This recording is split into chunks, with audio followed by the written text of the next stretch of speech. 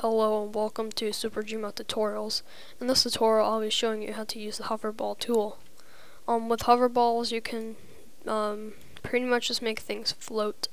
So I'm going to spawn a chair right here. I'm going to take out the hoverball tool. You can customize it over here on the side, the speed it goes up at, the air resistance, and the strength. So I'm going to... Oh, whoops.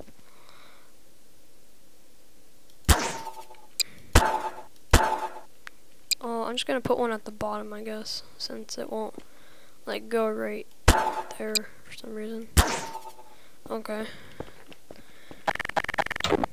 I'm going to unfreeze it, and you see that it floats.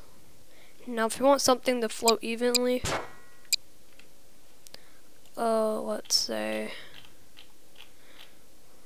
um, this blast door right here um, you're gonna go like this.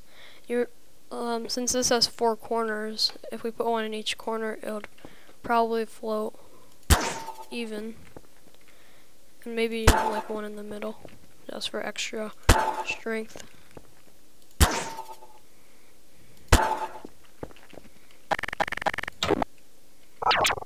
Okay, you see, and now it floats.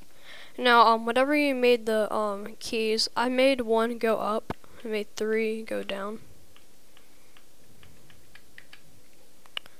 Okay, say we can get on it. Go one up. You can like float.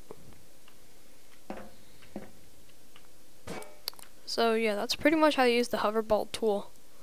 Um, if this helped, uh, subscribe and like the video, favorite it if you want.